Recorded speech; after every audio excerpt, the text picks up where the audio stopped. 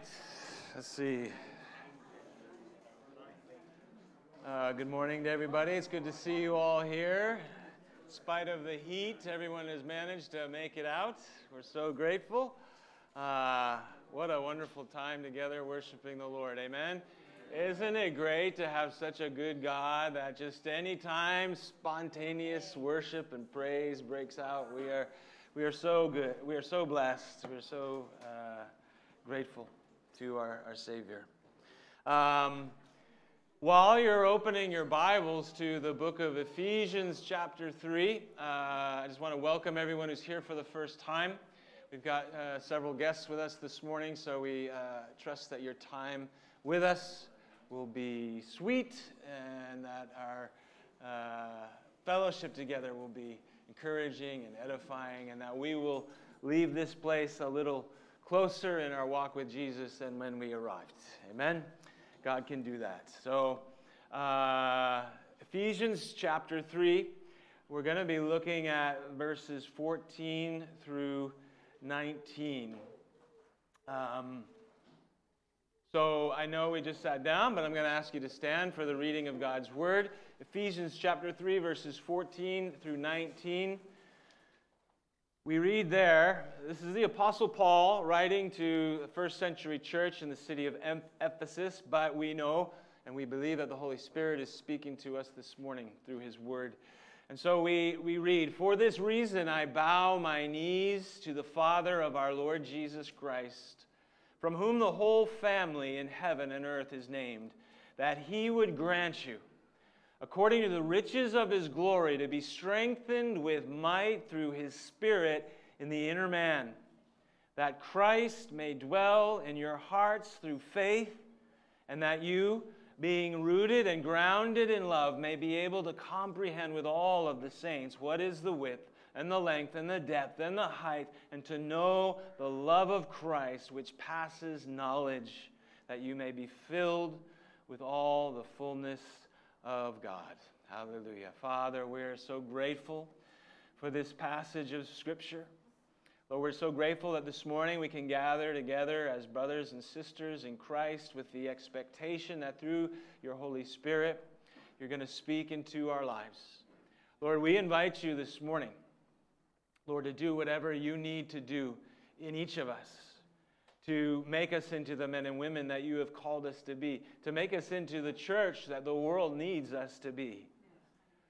Lord, whether it requires rebuking, correcting, discipline, whether it's just a matter of exhortation, encouragement, Lord, whether it's a matter of being equipped, God, we're looking to you this morning to accomplish all of that in each of our lives as only you can do. And so, Father, we submit ourselves to that work of your Holy Spirit and pray, God, that you would give us ears to hear. We trust you for this and we ask it in Jesus' name. Amen. Hallelujah. Have a seat. So, many of you probably noticed that this week Cyprus made the news. I wish I could say it was in a positive light. But unfortunately, as the result of a um, act of violence that took place in Larnaca this week, Cyprus, uh, it went viral online, and as a result, millions of people all over the world, you know, again, Cyprus made the news. What happened? Uh, uh um, long story short, a, a, uh, a woman with a seven month old child went uh, and bought a car from a man and after she left with the car, the car broke down. And so she took the car back to the man who sold it to her. And that man proceeded, with child in arms, to beat that woman down.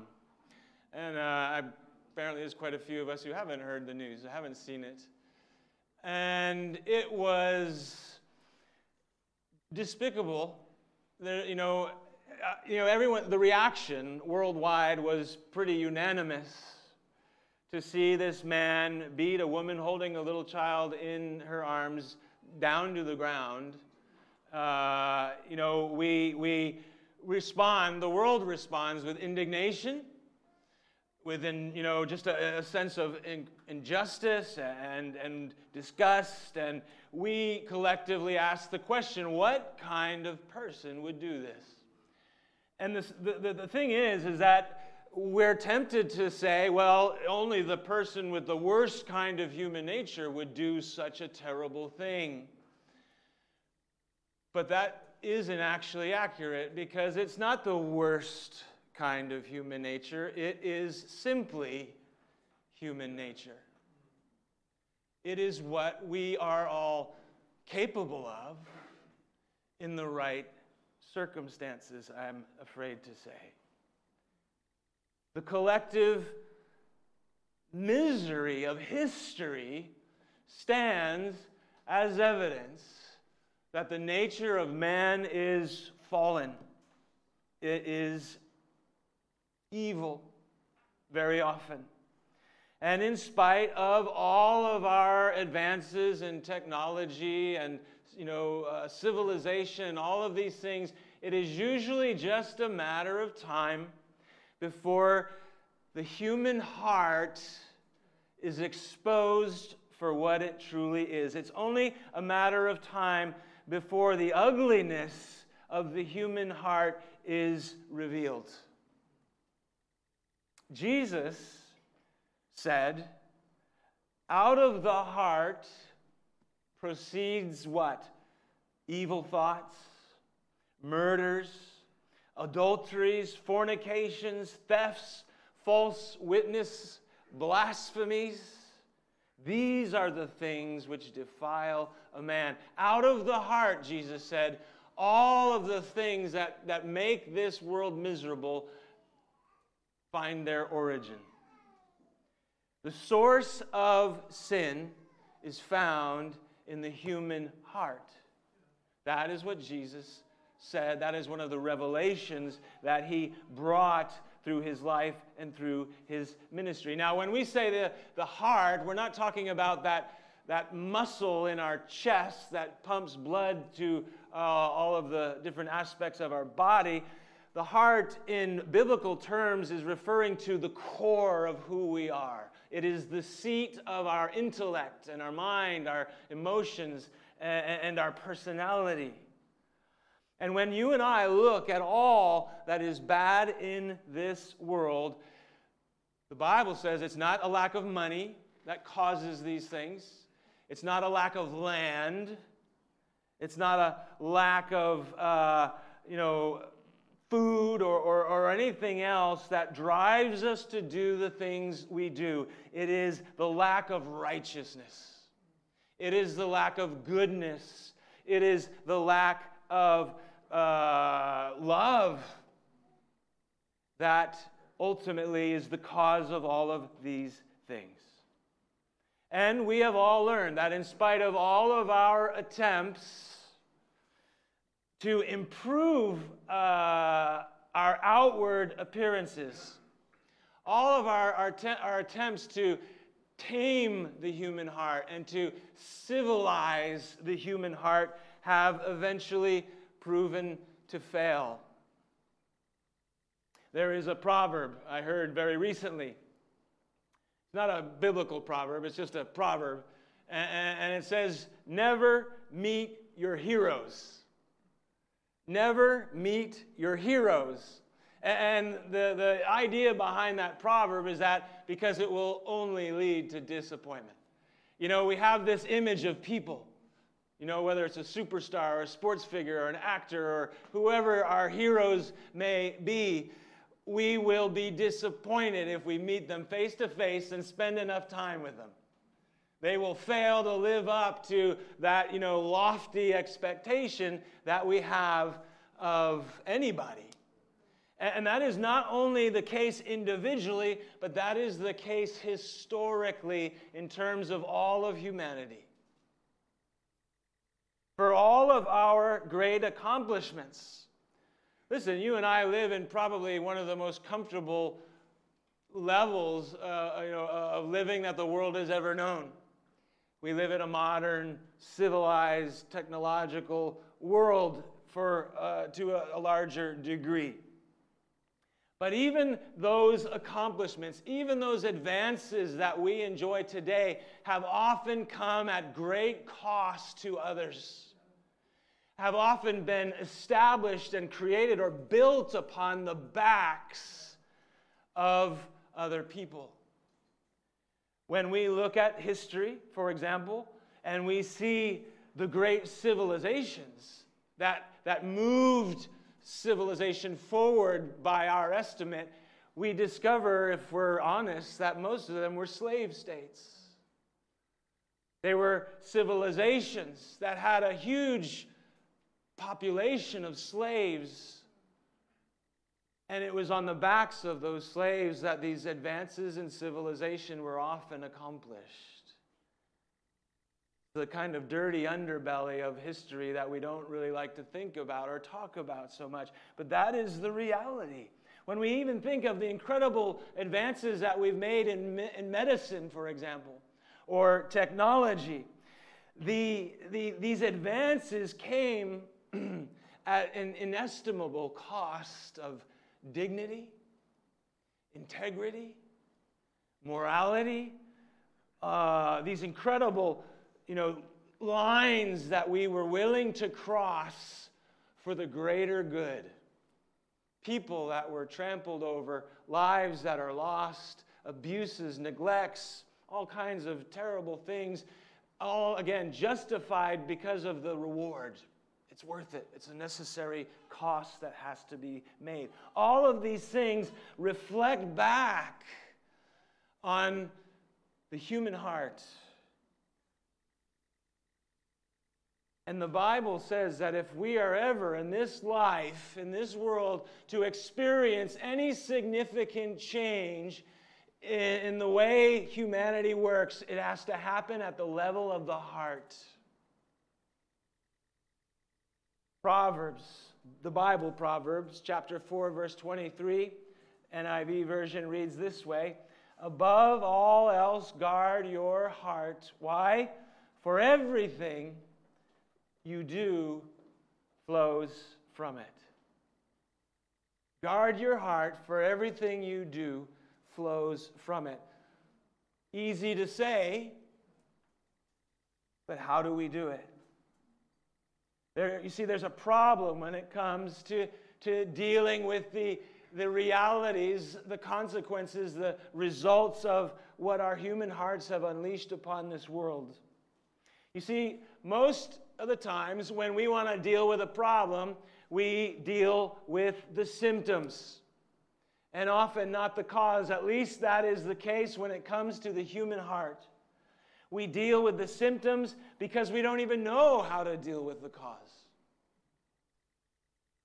This was and, and continues to be one of the reasons why God introduces the law in the Old Testament. It's one of the reasons that we have so many religions in the world and other self help programs because we're trying to deal with symptoms. Now, when it comes to the law in the Old Testament, we understand that the law was given by God and the law was designed to show the nation of Israel and the world ultimately what sin looks like. And, and perhaps even more importantly, what holiness looks like because God is holy and he wants to have fellowship with his people. But there's a sin problem, and so he, he has to show them listen, this is what sin looks like in your life. The law is given to spell out specifically the symptoms of sin, what it looks like in our lives. The law was given to point out uh, what's good and bad, what's clean and unclean, what is holy and what is common. The ultimate result of the law, we read in Romans chapter 7, verse 7. Paul says, I would not have known sin except through the law. And so, when you and I read something as simple as the Ten Commandments, thou shalt worship no other God before me, Thou shalt not commit murder. Thou shalt not commit adultery. Thou shalt not commit sexual immorality. Thou shalt not steal, bear false witness, take God's name in vain, and so on and so on. All of those things are designed to point out the symptoms of the sickness of the heart. And along with countless other laws and commandments, these only point out the symptoms and not the source, or, don't, don't, don't give a, a remedy to the problem.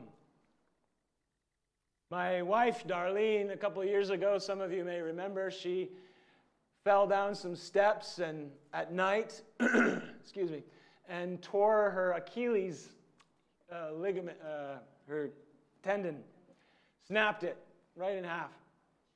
Couldn't walk. We went to the doctors. Now imagine if the doctor had, you know, said, "Oh yes, you've torn your Achilles heel." Uh, my medical advice to you is don't go walking on steps at night anymore. right, exactly. We laugh because we think, "Oh, that's foolishness." It may be true, but uh, you're not dealing with the problem, doc. We need to fix this thing, right? Uh, and again, while, thank you very much. Starting to lose my voice here.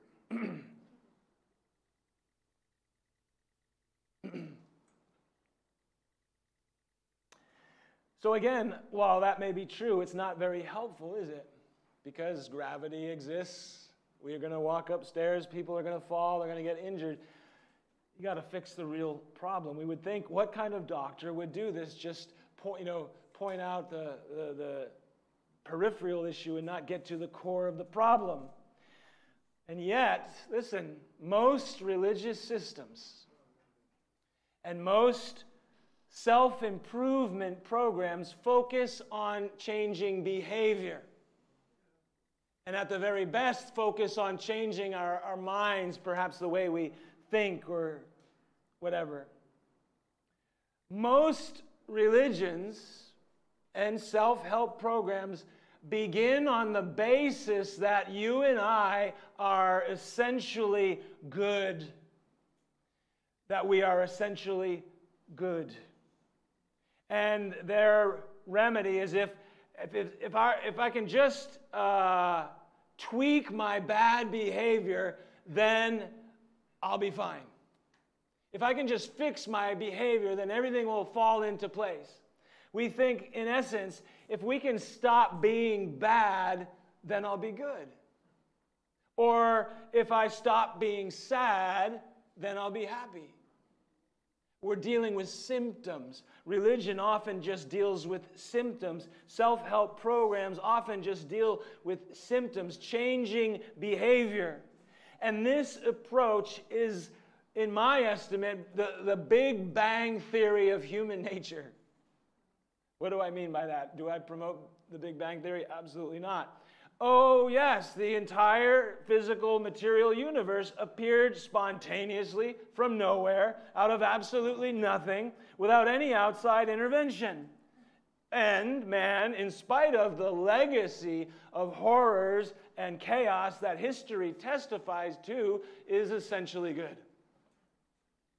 I don't believe either of those things. Now, listen, don't misunderstand me.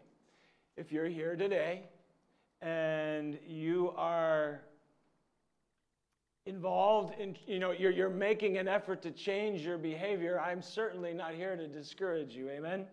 If you're doing something, anything in your life that is producing positive results in terms of, you know, behavior based reforms, then I say, good for you.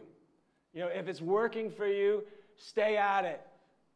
You know, be strong, carry on. I, I commend you, I, I, salute you. If, if you're seeing, you know, results as a, as a, because of your efforts to change your behavior.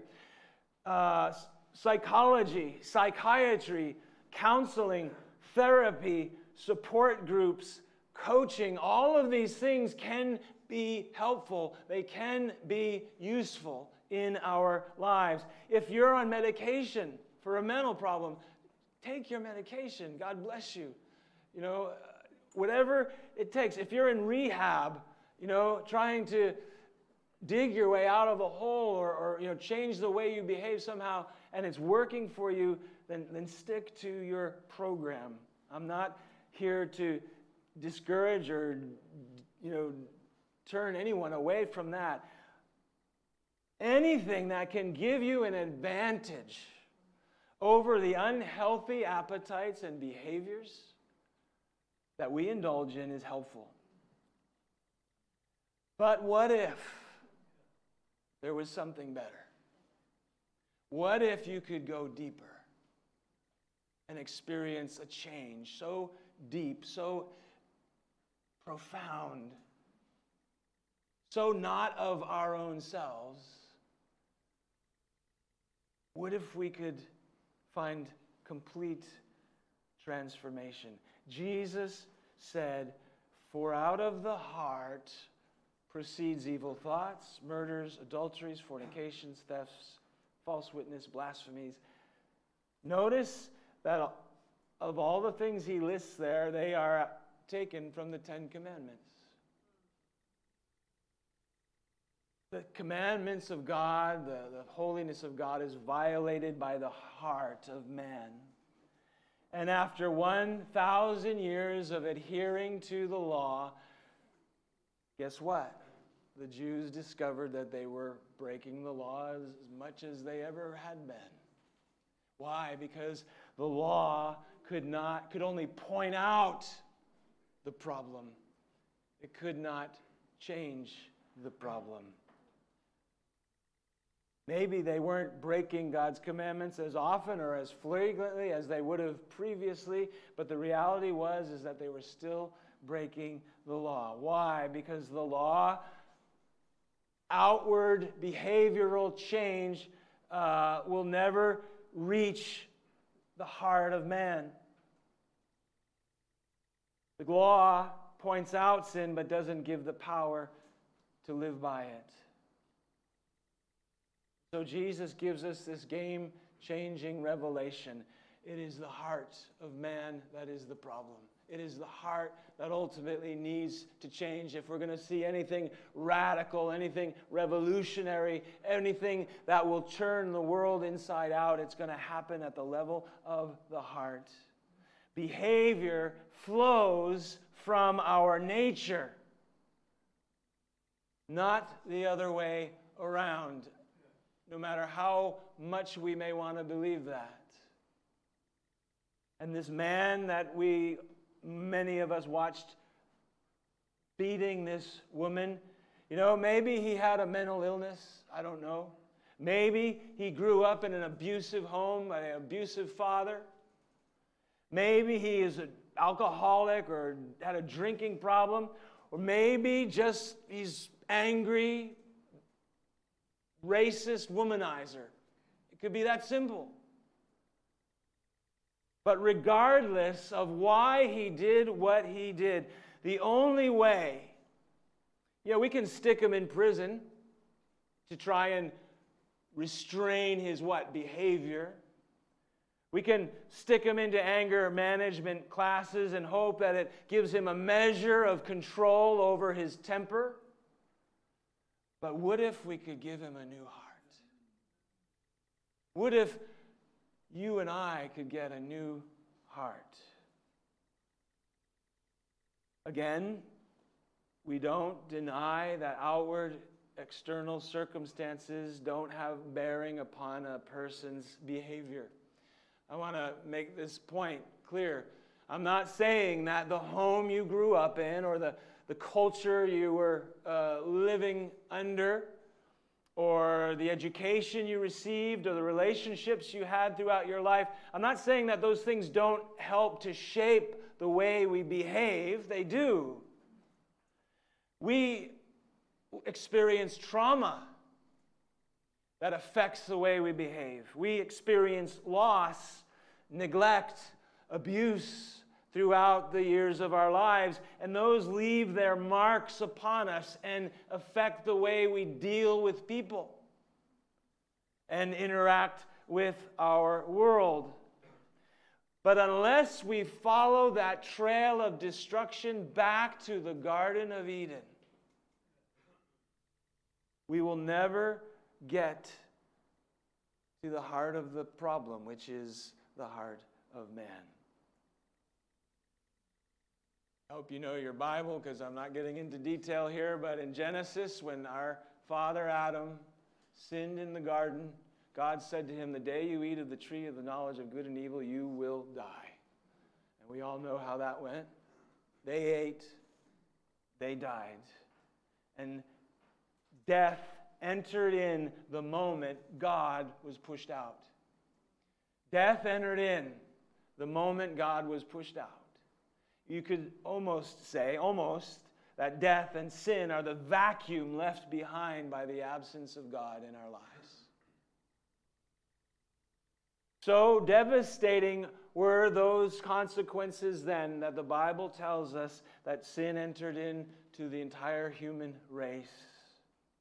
By the time you get to Genesis chapter 6, verse 5, the Bible says that every intent and the, of the thoughts, what? Of his heart were, was only evil, continually speaking of humanity.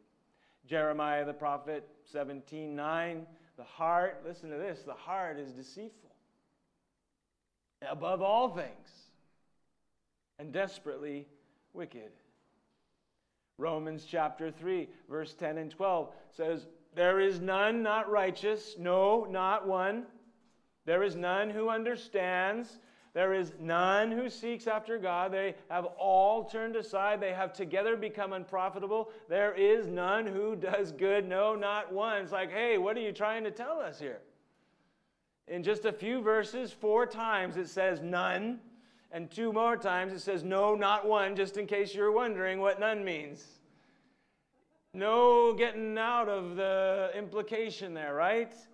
Sin's devastating consequence is that every single man, woman, and child who has ever lived on the face of this earth has had a sin problem, has had a dead and broken heart, trying to live and interact with the world around them. And so we see the fallout of this reality in our modern civilized world we watch bombs fall from the sky, children starving to death in countries, century after century, generation after generation person after person, cycle after cycle of heartbreak. And it's just an unending loop. Why? Because we're born with it. It's in the heart of man.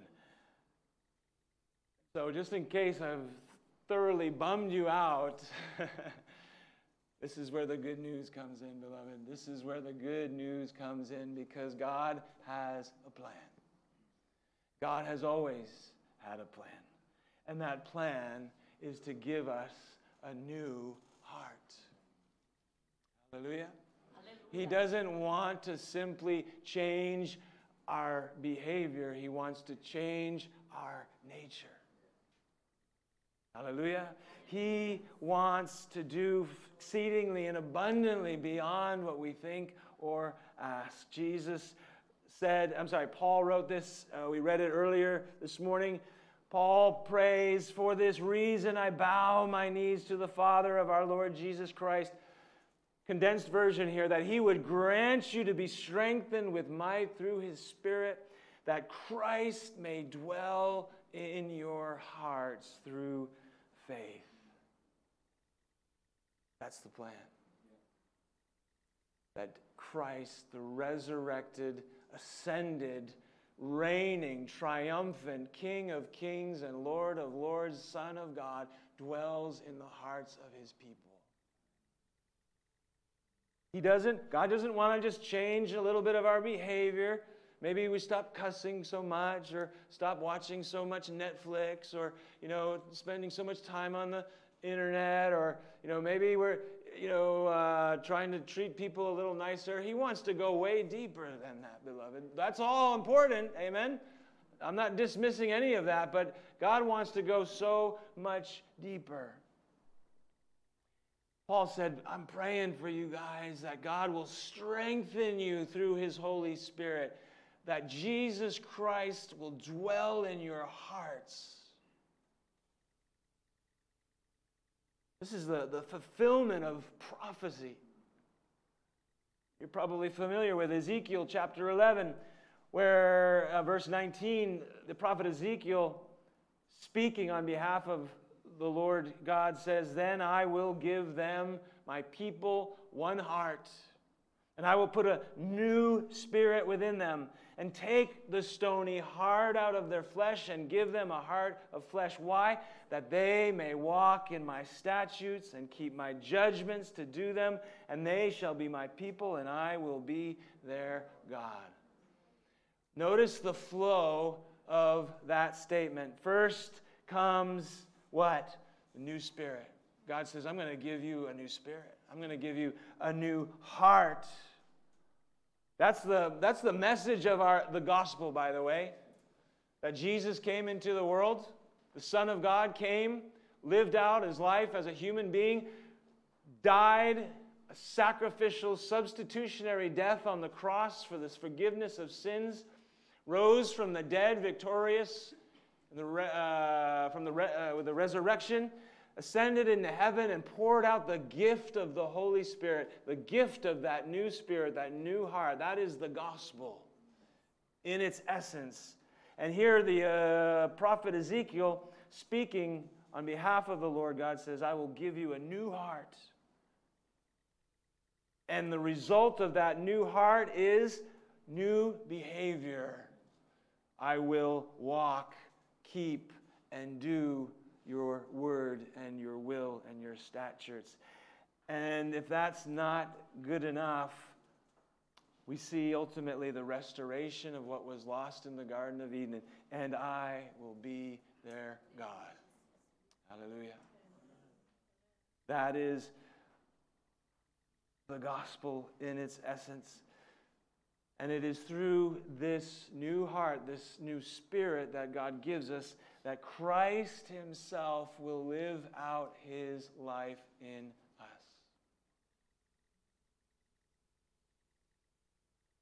Christianity is more than just God making people better, saving us from our sins, and He's transforming us from the inside out, and then using us to reach the lost world around us. God wants to do more than just make us better, make us more obedient people. He wants to, the Bible tells us, to conform us into the image of His Son. So, this new heart, this new spirit, this new life is, is going to be a, a, a reflection of the life of Christ in and through you and I. The uh, book of Galatians, chapter 2, verse 20, puts it this way. Paul, again speaking, says, I have been crucified with Christ. Listen, it is no longer, Paul was able to say, it is no longer I who live, but Christ lives in me. And the life that I now live, I live by faith in the Son of God who gave himself, who loved me and gave himself for me. Hallelujah. Our lives, the intention here is that as we're born again, what we're talking about here, as we receive the gift of salvation and the, and the gift of the Holy Spirit, as, as Christ moves into our lives, the idea is that his life and our lives are so intertwined that he is reflected in my behavior. I'm still Tim, you're still you, but there's something about Jesus in all of us. This inward transformation, Christ dwelling in us. Jesus said to his disciples on the night he was going to the cross, he said, As I'm sorry, after he rose from the dead, when he had breathed the Holy Spirit upon them, he says, As the Father has sent me, so I send you.